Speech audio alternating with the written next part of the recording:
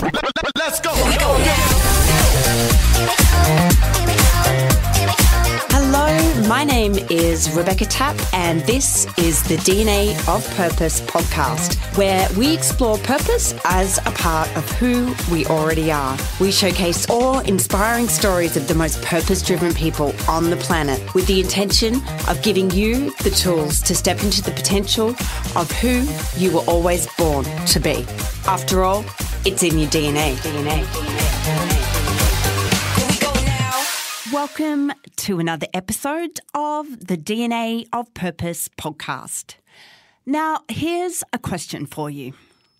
What if purpose has nothing to do with an individual's pursuit for meaning, but instead is a quality that is symbiotic with our innate desire to belong and to trust those who make up our tribes, our communities, and our workplace cultures. What if the reason, purpose, or the pursuit for a purposeful life is sometimes misunderstood is because we don't get the contextual drivers? Drivers such as trust, connection, and belonging. The parts of us that are primed for collaboration, over competition, and that empower diversity by design. Why? Because these qualities not only keep us alive, but enable us to adapt and thrive. To frame this up, we live in a world where we've been exposed to an invisible narrative of seek out success over significance, pursue the promotion over the purpose, and stay on the rat wheel chasing those golden carrots. Because if you do, your reward at the end is a quote unquote meaningful life. Sadly, for many people, this equation can lead to burnout rather than brilliance.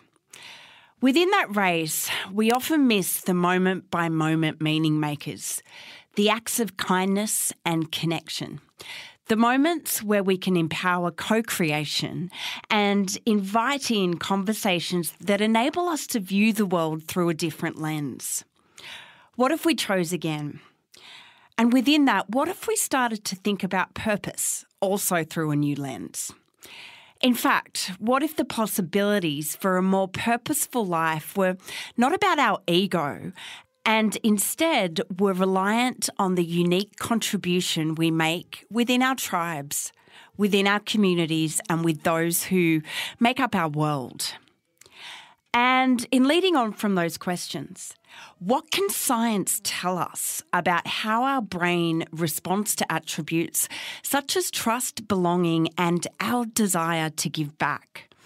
Could it be that purpose itself is evolutionary? Now, today's conversation is a good one, and I'm so excited to dive in. Today's guest is Paul Zak. Paul is the founding director of the Centre for Neuroeconomic Studies and Professor of Economics, Psychology and Management at Claremont Graduate University. He is the founder of Immersion Neuroscience, and for more than two decades, his research has taken him from the Pentagon to Fortune 50 boardrooms to the rainforest of Papua New Guinea. All this in a quest to understand the neuroscience of what makes humans tick. Paul has been obsessed with uh, human connection for as long as he can remember. His focus on understanding connection led to his groundbreaking research on oxytocin. And all of this work led to the best title ever. And no, it's not PhD or keynote speaker, it is Dr. Love. His latest book is Trust Factor The Science of Creating High Performance Companies. And it uses neuroscience to measure and manage organizational cultures to accelerate business outcomes. His 2012 book, The Moral Molecule The Source of Love and Prosperity, recounted his unlikely discovery of the exact neurochemical that drives trust, love, and human morality. So, on that note, get ready to dive into the wonder and the magic of what I am going to call neuropurpose with the one and only Paul Zak. Welcome to the podcast. Paul J. Zak, it is such a pleasure to have you on the DNA of Purpose podcast as a guest today, beaming all the way into the studio from California, I believe. Whoa, yes, from California. Hi, Rebecca. Thanks for having me. Oh, it's a pleasure. I'm, I'm so excited to be talking to you today. And, um, you know, as you can imagine, across the course of this podcast, I get to speak to some of the most purpose driven and intelligent people on the planet, such as yourself, which is um, why I'm always curious to ask this one leading question. As someone who has spent much of your time immersed in the world of cutting edge research and as a science communicator translating that data for everyday folks such as myself, is there any one idea, trend, or project that you have come across or that uh, that you've been pondering that might have been, you know, keeping you awake at night that you believe will significantly influence human progress in the 21st century? Gosh, that's a deep question. we dive straight in. I tell you. Um, yeah, I've been obsessed with the neuroscience of extraordinary experiences. So no one wants to have a so-so customer experience. No one wants to see a movie that's terrible. No one wants to have a romantic partner who's blah.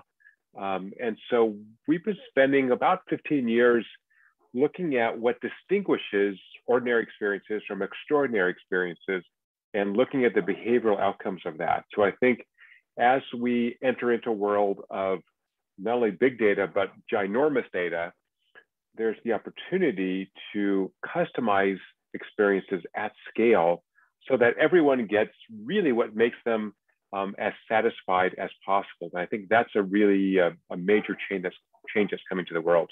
Mm.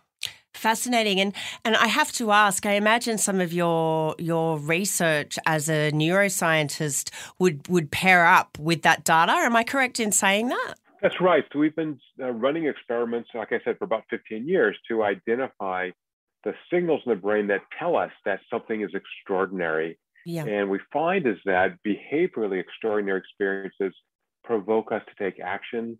They're enjoyable. They are memorable. Um, so they're actually a way to not only create a great experience for somebody, but actually to influence their behavior. Mm. I have many more questions about exactly that as we progress throughout the course of the conversation today. But before doing so, I'd love to I'd love to know a little bit more about your world. And um, I think it's fair to say that you are a multifaceted and, and multi-talented human as a scientist, an economist, a psychologist, entrepreneur, and today as a business influencer. In the spaces in, in between, you've pioneered disciplinary fields including neuroeconomics economics, neuromanagement, and neuromarketing. Now, I'm sure we'll talk about all of these fields of, of research in one way or another. But before doing so, I'm really curious to understand more about the evolution of your personal purpose. When you look back and, and connect the dots, was there a, a key moment or an unfolding of events that led to a point in time where, where I guess all of the different storylines that, that make up who you are and what you do came together and your your life's work became obvious? Another profound question.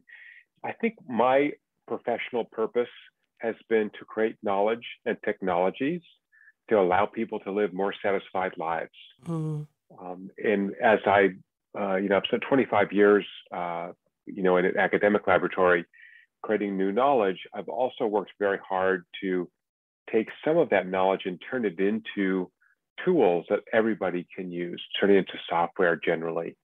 Um, and I think uh, going that extra distance is what increases the impact I'm able to have on the world, not just make this information available to scholars, but actually um, go further and create tools so everybody can use this um, to be a little bit happier. Mm.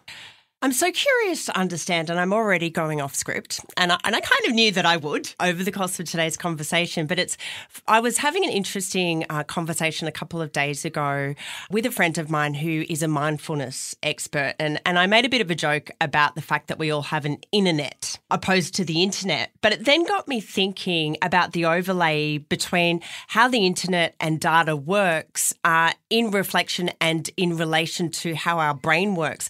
Are there any links there as somebody who studied both? Oh, I love the word inner net. Yeah. So we have an inner net, but that inner net, like the internet, is in fact connected to other people. Yeah. And so uh, what we find uh, from a research perspective and an applications perspective is that we only thrive, we only uh, live fulfilled lives when we are connected to others. It's the only way to be successful. And I think that's where purpose comes in.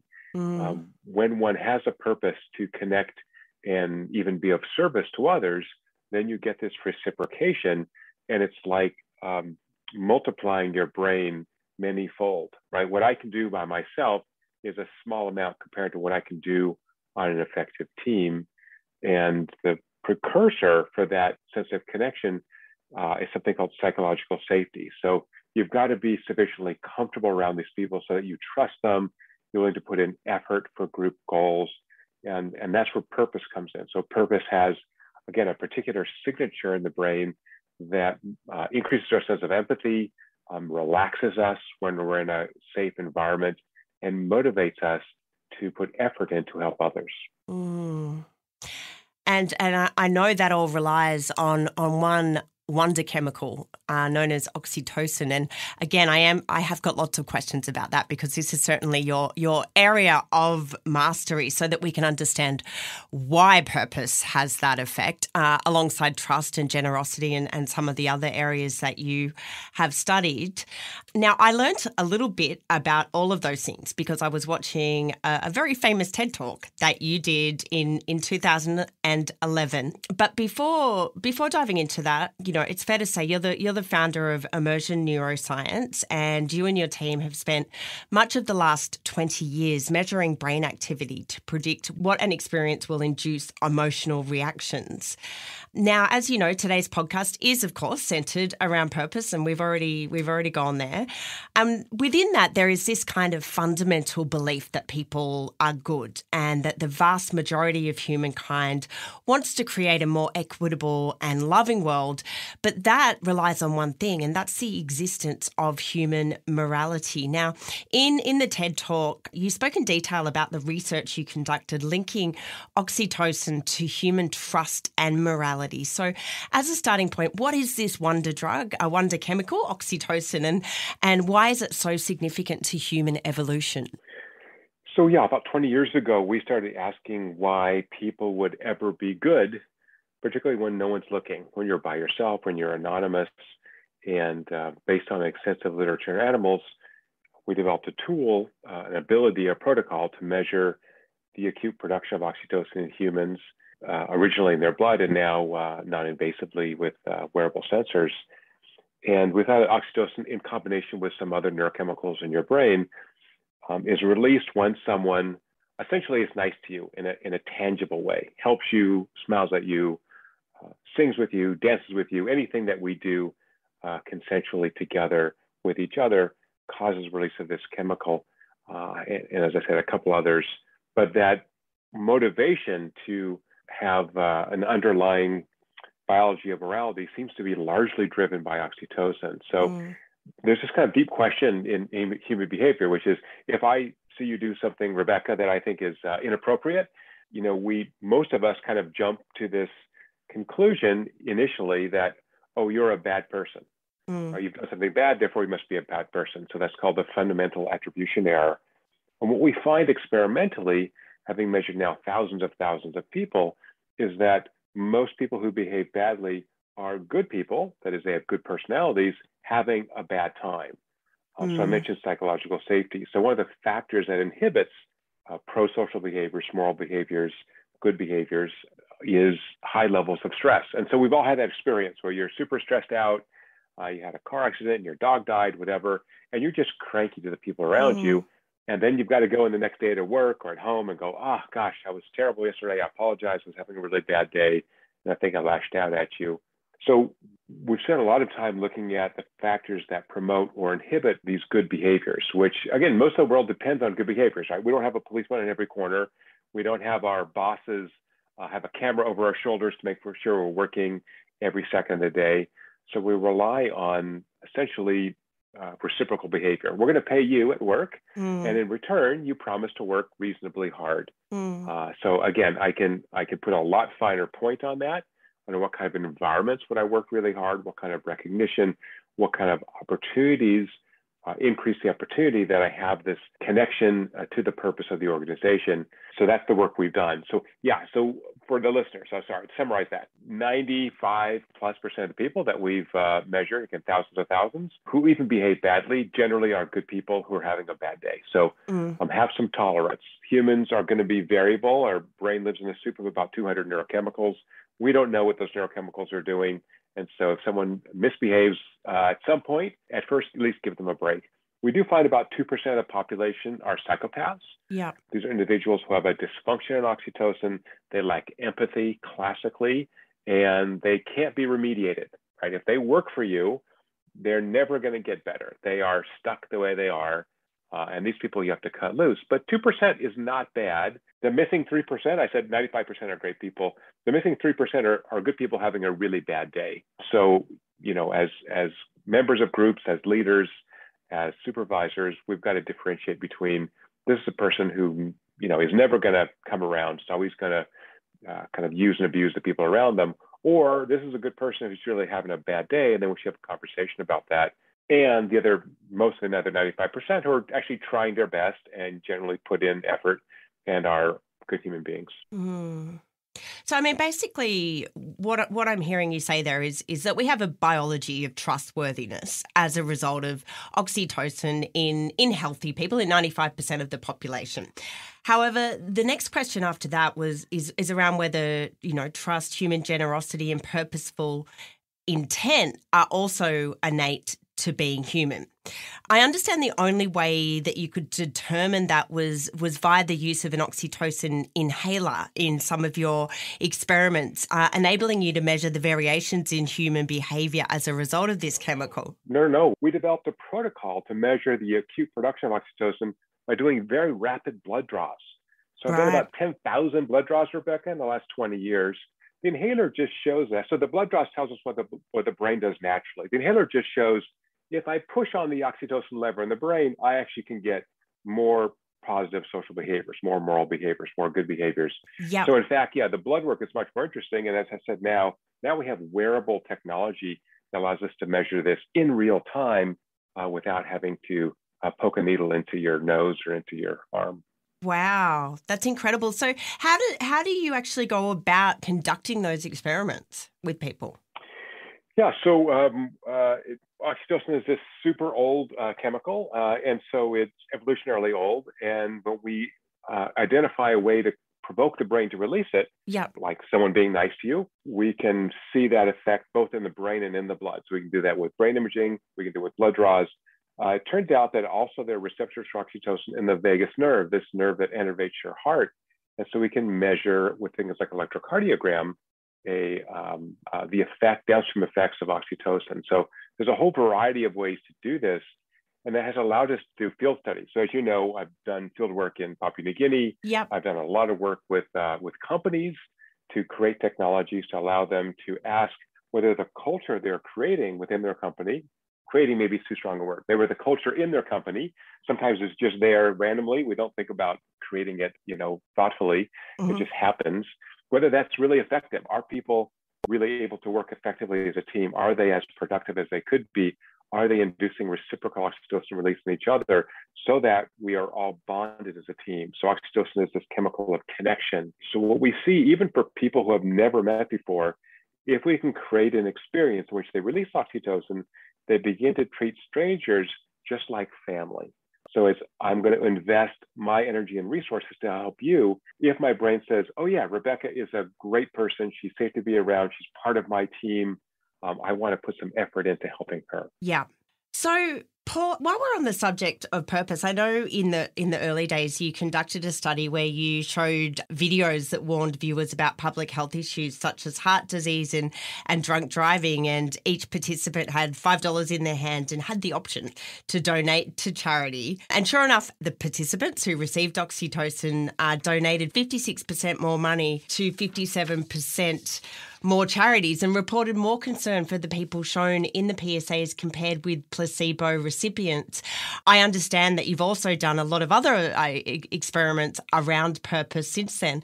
What did you learn about human purpose from these experiences? Human purpose is another way to induce the brain to release oxytocin. So, purpose is a broad word. So, I want to be a, yeah. a little more narrow. So, we think in the business setting, uh, what I call transactional purpose, how we, you know, uh, create value uh, for our customers. That's the kind of the doing of business. What we found is uh, what I call transcendent purpose, this um, larger pur- purpose of organizations. Yeah. Um, that Peter Drucker and Edwards Deming talked about, you know, how we create value for society that that notion of purpose uh, is very motivating for humans. It induces oxytocin release, gives us that extra boost and extra effort. And because we can measure these effects uh, now second by second, even millisecond by millisecond, we're able to go in and take messages, uh, videos, marketing, and create very high impact messages that motivate people to take an action to help other people. So it could be donations to charity, could be working harder for your team members. We've done this many different ways. Uh, and Immersion Neuroscience, the company I started, um, has commercialized that technology using data from smartwatches so that anybody can measure what gives us a sense of purpose, what motivates individuals to actually put in effort, discretionary effort in particular at work. Mm. What I find interesting about this is I've always uh, had a firm belief, just through the, the hundreds of conversations I've had with people about the nature of purpose, the purpose is actually a feeling. It's it's an emotion, it's it's an energy. And that's why it's so powerful with regards to influencing our behavior. And so what I'm understanding from what you're saying now is it's not just about the narrative of purpose. It's not just about knowing your statement of why. It's about the experience that you have through that emotional release. Would I be correct in saying that? Yes, it's that, as you said, that's that inner net which is connected to everybody around I think purpose is most powerful when it has a social component. How about that? Yeah. Yeah. So, in another video I, I, came across, I know you also linked a scarcity mindset to a lack of oxytocin, and I thought that was that was also interesting. That that you were maybe saying that countries that were less fortunate or had more crime, as as two random examples, also had a population with less oxytocin. Certainly, with less trust. So again, it's that stress response we've got to create environments where people can flourish. And the first part of that is psychological safety. So you think of children, right? Children who grow up in really unstable households, they don't know what's going on from day to day. They don't, if they have a meal coming to them, very difficult to focus on school, to uh, feel comfortable, to learn something new. So you can think of psychological safety as uh, kind of bandwidth. Right? If I have high psychological safety, I'm relaxed. I have lots of cognition available to acquire new information, to do new things, to learn new things. So, what applies to individual humans, it turns out also applies to countries. So, countries that are very unstable, that suffer with violence, political instability, then people are just trying to get through the next 12 hours, mm. right? They, they don't have a chance to invest in a business or put their kids in school. Uh, they're just trying to get through the day. So, um, really it's maintaining that level of stability. Doesn't mean boringness, by the way. One of the uh, interesting things we found is that uh, I have to make a precursor statement. So your brain turns out to be a very lazy organ because it takes so many calories to run your brain. About a fifth of your caloric intake is devoted to the three pounds of your brain. Mm. So there's very high overhead. So the body manages that overhead by having people kind of idle in what they're doing. So you actually need some motivation for the brain to release oxytocin to have that sense of purpose to uh, invest the energy into doing something that helps others or helps the world. So, from a uh, kind of management perspective, if I'm supervising people, I don't want them to be so relaxed that they're just, you know, bumps on a log, right? We really want to have people be in that kind of moderate stress level where they're focused, they have a goal, they have a, a, a milestone to meet, and that's when they draw on these social resources, my colleagues at work, all this information to reach those milestones. If I have no goals, if I have no purpose, then there's really no reason for me to engage. So this is your, um, I'm making this up now, your lazy, lazy brother-in-law, Rebecca, who sits on the couch playing video games all day. Yeah. I don't know. Uh, right. So that person who's just stuck there playing video games in their mom's basement lack a sense of purpose, lack the sense of connection and doing something great for the world where many of us are privileged to have this sense of purpose. And again, it's almost always social purpose Yeah. Uh, so that's where this high performance come from comes from for individuals and for organizations. So, Paul, I'm going to, I guess, uh, dovetail into a slightly different area because I want to unpack how some of this works uh, with regards to, you know, an organisation if you were you know if you were consulting which i'm sure you have with with a leader what kind of measures would you bring into an organizational structure to build a, a, culture of trust and a culture of belonging and purpose and all of the things that you're talking about? Have you got any strategies that leaders who might be listening can deploy? We do. I may, may have written a book on this called trust factor. Um, so I, I, think for a couple years ago for organizations always think about culture as a, a, dimension that a lot of organizations don't think about, um, and yet it has a powerful impact on performance precisely for the reasons that you've said, because of trust and because of purpose. Mm. And so by assessing, measuring your culture, then you can begin to manage it for high performance. So again, culture is this giant word. Um, one aspect of culture that we know has a profound impact on performance is organizational trust. Uh, and so in Trust Factor, I developed a, a, a, measurement tool that allows us to look at the behaviors that underpin um, high trust, high performance organizations. So again, for listeners, uh, trust is uh, a set of behaviors. It's, it's not a personality trait, it's not a feeling, it's actually how people treat each other. And that's something as a, as a leader that you can affect. And so the first thing is to measure that culture, or at least measure trust in that in that culture, and then um, create interventions so that you can move up the level of trust. So so think of trust as kind of a bank. Mm. If I have a lot of trust in my colleagues, right, they depend on me. I can depend on them.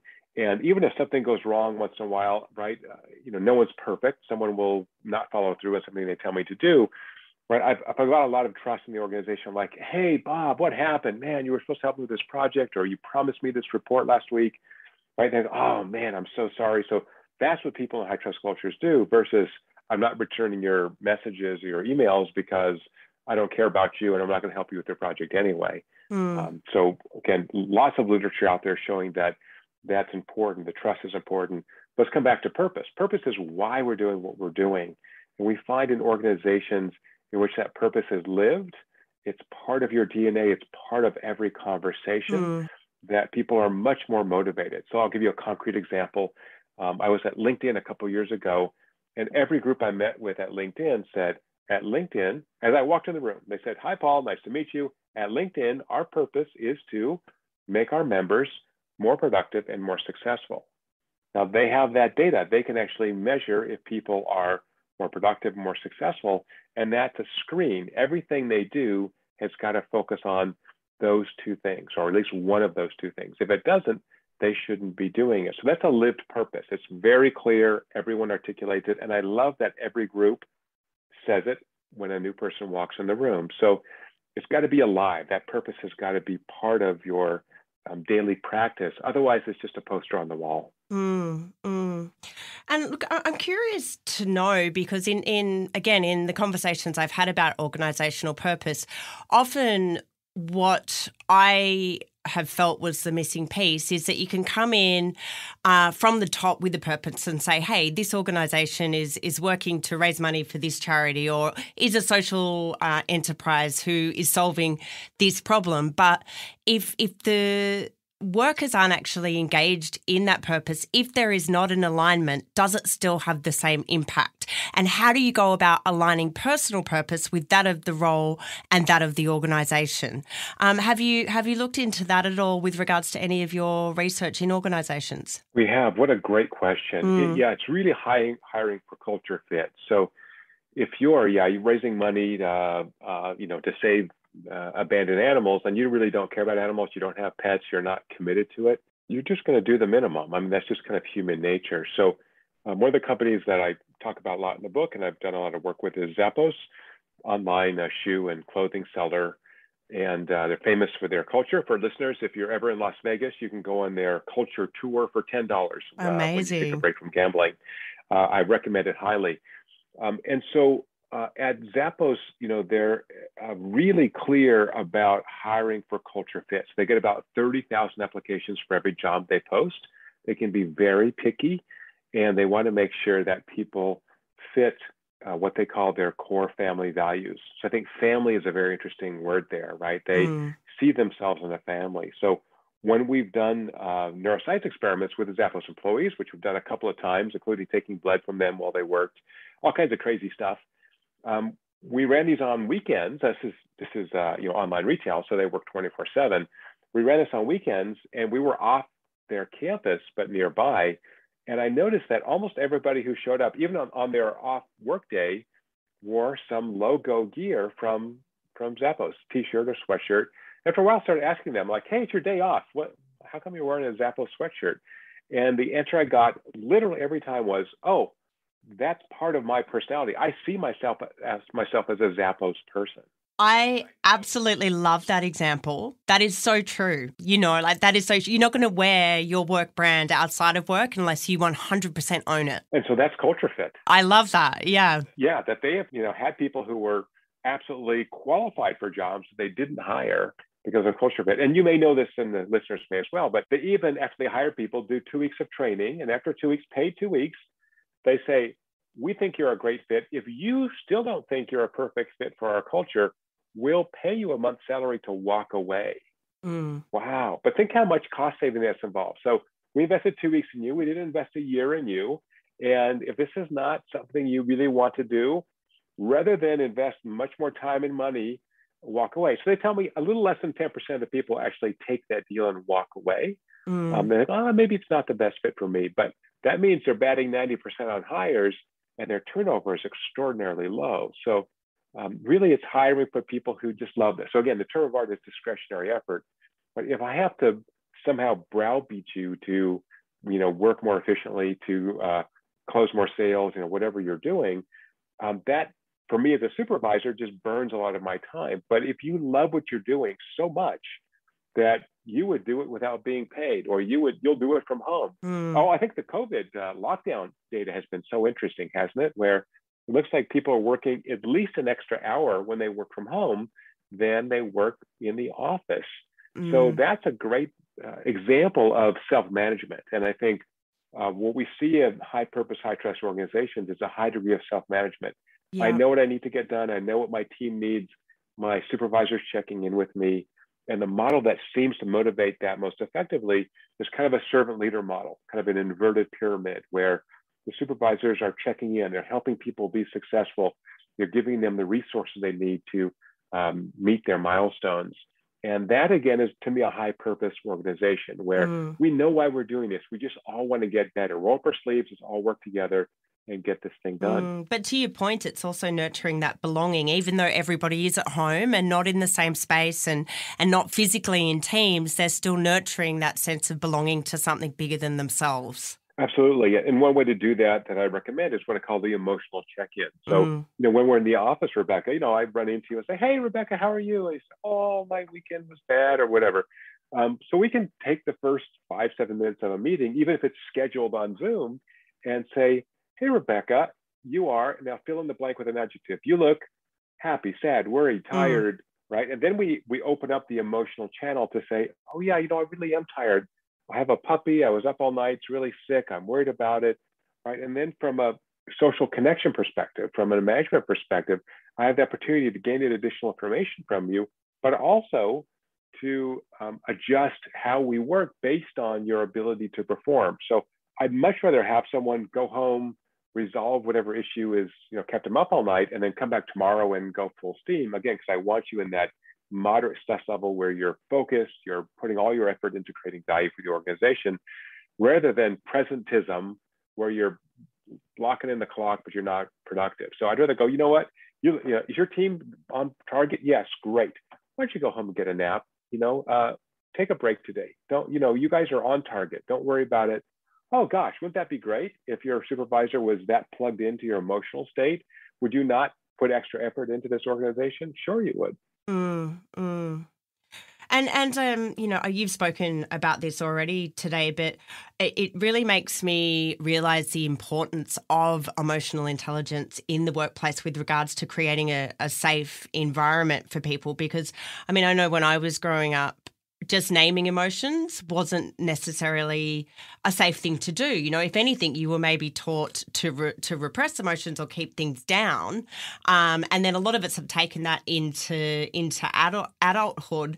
Do you think organisations are focusing and creating more space for emotions in the workplace as as a way to really create uh, a more belonging space, a more purpose driven culture, and to help people improve their performance? I think there's a real split. I think mm. we're seeing this in, uh, for example, many tech companies where I live in California, demanding that their employees get back in the office. And employees are saying, you know what? I don't want to do that hour commute each way. Like I'm super productive.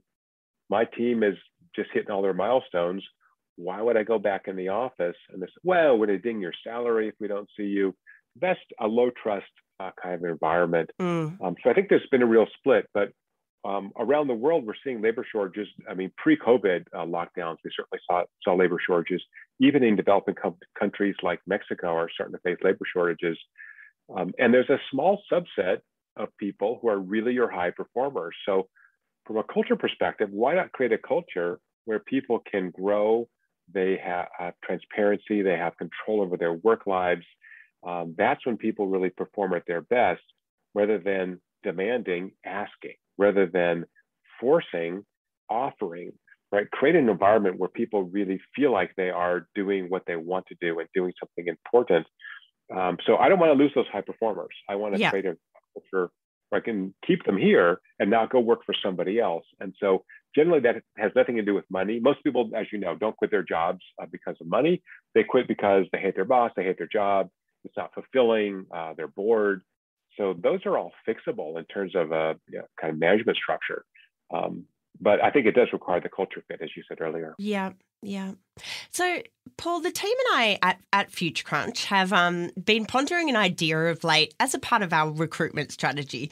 And the intention is that we want to attract humans uh, that we refer to as full stack humans. So basically, what we mean is we want integrated humans who are both analytical yet creative, intelligent yet intuitive, emotionally and intellectually intelligent.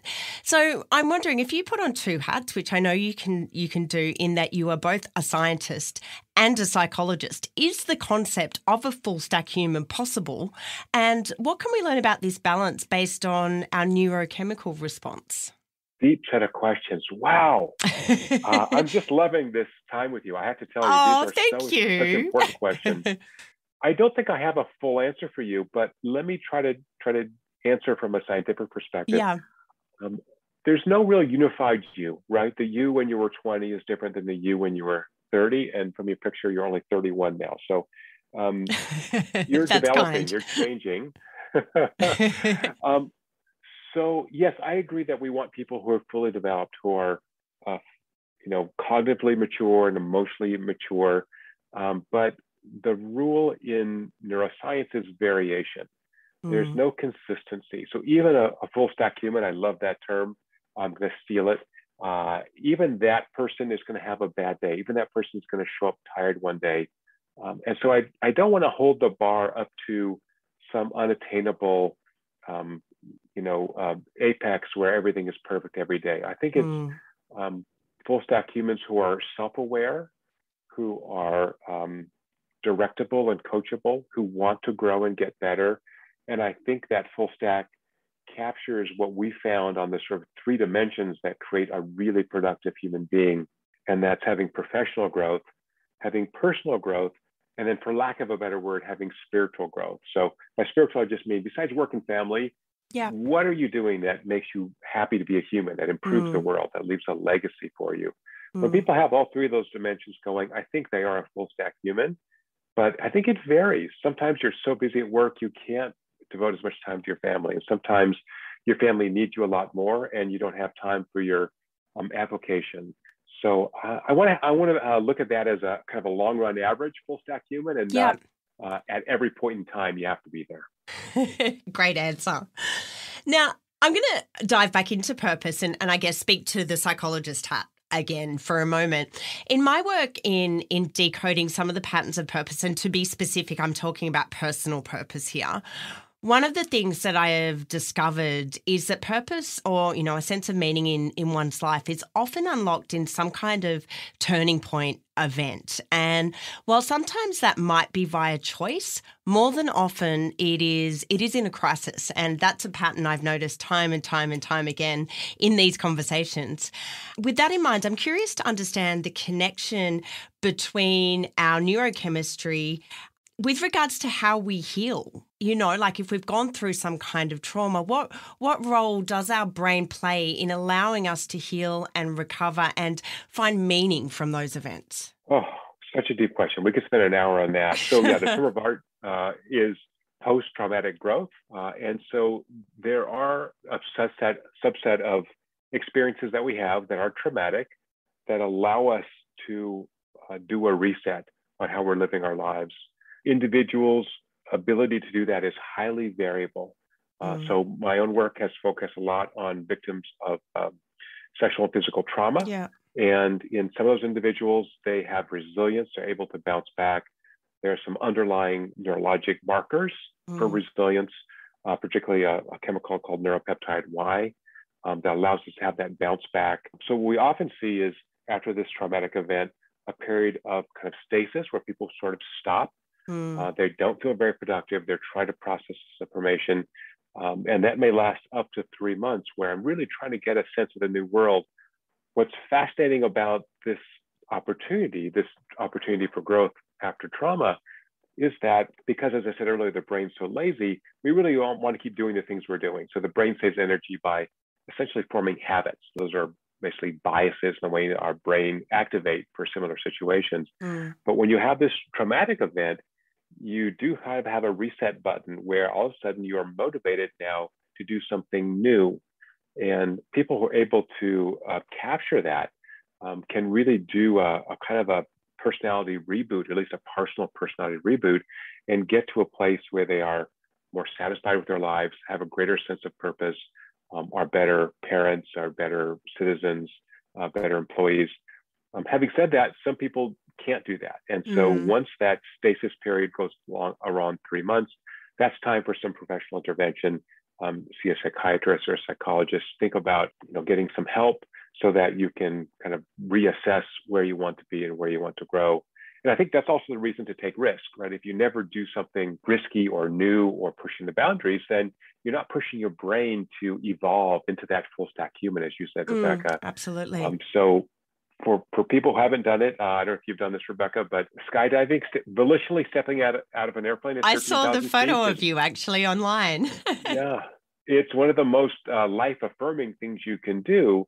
It really gives you this confidence that you know you can you can force yourself into areas that just seem. And I had real fear of heights before I did that, and it just completely cleared out. So that was my reset.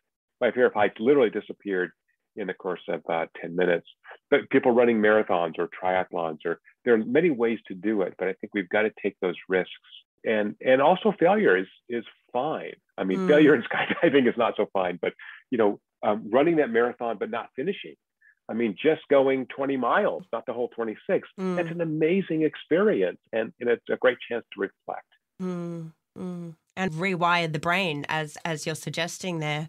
And i think it's also a, a, really important conversation to have right now given the state of the world over the last two years that whilst uh, we have just spoken about those those individual turning points or you know individual crisis collectively we've we've gone through a huge turning point and that we can also use this this opportunity of the well the, I call it an opportunity, but you can call it a crisis and an opportunity, but it is an opportunity to also reset collectively and to step into a new level of purpose. Absolutely. And so grab that, right? Mm. Yeah, no question about it. Mm. And that's kind of a, a good segue uh, to my next question, which is is really all about the power of storytelling and the stories that we we choose to tell ourselves and to tell the world. Now, I'm not sure how much you know about the work that we do at Future Crunch, but much of our ethos is based on the idea that if we want to change the story of human progress in the 21st century, then we need to change the stories that we tell ourselves. And to be more specific, in a world where we are constantly standing in a fire hose of, of negative news stories on every device, our team really makes a point of providing the antidote in that we share stories of innovation and human progress based on the golden facts from the world of science and medicine and, and technology. And our intention is to amplify what we call intelligent optimism in the world because we wholeheartedly believe that to inspire real change, we need to share stories of hope. And this is not to deny that bad things happen in the world, but it's to help people make a conscious decision about the information they consume in the knowledge that it is actually affecting their brains and their bodies. Now, I understand that you happen to know quite a lot about what uh, I'm going to call, for the purposes of today's uh, podcast, neuro storytelling. Can you uh, share with our listeners what you've learnt about this particular subject in your research? Yeah. Oh, you're so well prepared. Uh, yeah. So we've we've really found that stories um, have a signature in the brain, effective stories and effective mm. or uh, powerful stories that uh, make them memorable. And again, that's that brain reset. So I remember this information, but it only happens when that story is at human scale, when it has authentic emotions, and when it teaches us something. Mm it, it doesn't work for everybody, different stories for different situations and different people, but there is a classic structure of stories, often a kind of hero's journey story mm. that can be very powerful at giving us insights into our own behaviors. This was um, the dramatic dramatic arc, if I recall correctly. Yeah, dramatic arc, but yeah. particularly dramatic arc in which um, the protagonist needs to do something difficult, um, almost impossible to resolve a conflict mm. and to do that in an authentic way. Um, and so I think it's the, so, the whole reason we still go to movies and buy books and uh, you know read fiction is because we learn something from these stories, particularly these heroic stories, which is a large subset of, of the stories that we see. Heroic on the on you know big H and small H. It could be an individual. Um, you know, I, I, think you know bringing food to your sick neighbor is heroic at some level. Mm. You don't mm. need to do that. Um, so yeah, as we relate these stories, as you said, both to ourselves but also to others, it gives us a chance to influence the way our own brains work, influence other people's brains, and ultimately um, do a reset on behavior. So mm. uh, I should say this is comes from you know again almost 20 years of research, yeah. measuring people's brains as we expose them to different stories. I know there was a story about a little boy Ben yeah, the important component is is the is the role of purpose, right? There's yeah. got to be a purpose. So yeah, this little story of Ben who's uh, dying of brain cancer, two year old boy, and his mm. father, uh, is really powerful. And we've seen other powerful stories like that. But there's a purpose. If You think, why am I watching the story of a kid who's going to die in a couple of weeks? Mm. I'm doing that because I'm learning something about my own resilience, my own ability to, as say, an, as an adult, go through probably the worst experience you could ever have as a parent and yet be stronger because of it. Do something important with your life because of it. And that's very empowering. Mm. So, Paul, my um, and, and I guess this is a little bit of a a, selfish question, really, but I'm, I'm going to ask it. Um, my little girl, Tiger Lily, who's actually out out there in the studio uh, today, listening to Mummy's voice going through the the speakers. She's uh, three years old, and you know I can just see that her brain is is such a sponge. And I also know that you know after researching for this interview, that one of the most important things I can do for her for any child uh, or even for myself is to produce a, as much uh, oxytocin and, and other chemicals that are going to enhance trust and enhance belonging and all of the things that we've spoken about over the course of today's podcast. So, you know, as a parent, as a partner, a boss, or a friend, especially in a, in an age of a global pandemic, how can we ensure that we are creating a more trustworthy, generous, and kind world? Yeah, I, I have a simple brain, so I try to get it, you know, boil everything down to yeah. a, a kind of an equation. And my equation that listeners can steal if they like is called love plus. Mm. So for every interaction, I try to assess whether I'm adding love to the world. And again, in the in the work setting, that could that's the philia sense of love, right? Which means you know friendship or caring. Uh, for your daughter, it's it's uh, parent-child love. Um, and so what I try to do is live my life. I mean, this is my goal. I don't always reach it, but live my life so I'm adding love to the world every day. And I try to reflect on that before I go to sleep. Mm. What interactions did I have, and why was I of service to other people? Did I help someone, uh, as many people as possible, get better? So I think for your uh, lovely daughter, you know, she's going to be what she is. Personality is largely genetic. So um, as long as you give her plenty of love and enough food, she's going to turn out just fine. Certainly, she'll drive you crazy once in a while, but um, that's okay. So, so does everyone else around us, right? Our, that's exactly our, right. yeah, love will drive us crazy. So, um, anyway, that love, love plus mnemonic is, a, I think, a simple way to kind of boil down that we are social creatures. We only thrive when we're in community, and to be in community means that you've got to serve others, and then you can expect them to serve you when needed. Um, so it's really making that investment in the social relationship. So I'll give you one last example. I turned 50 a couple years ago, and I had three surprise birthday parties. And I'm a super nerd introvert, but because of my research, I started investing more in relationships. And that was one example of how that has paid off, has really improved my life and hopefully I've improved the lives of people around me as well. Well, I can certainly say, just even, in even researching for today's podcast, uh, you've certainly uh, improved my life and and definitely improved um, my understanding of of not only the brain, but looking more deeply than that, how the brain, how neurochemicals actually influence so so much of what I stand for and this this podcast stands for, which is the creation of a better world. So I want to say thank you so much for the work that you do and the and the full stack human that you are. It has been an absolute pleasure to have you on the podcast today. Uh, you are wonderful. Thank you so much, Rebecca, and uh, please keep doing your wonderful work. Paul, before before we go, where can my listeners uh, track you down, read about your work, buy your books, do all the things? Uh, thank you. Uh, you can see the technology technology we've, we've developed to measure what the brain loves at getimmersion.com, immersion with an I. And you can find out more about me at pauljzak.com. If you have questions, shoot me an email. I'm happy to uh, engage with your audience. Paul, thank you so much for joining me on the DNA of Purpose podcast. Thanks for listening to the podcast. If you would like updates on upcoming episodes as they are released, in addition to good news posts from the world of science and technology, please follow along at our Instagram page, which is at DNA of Purpose Podcast, or sign up to our newsletter at futurecrunch.com.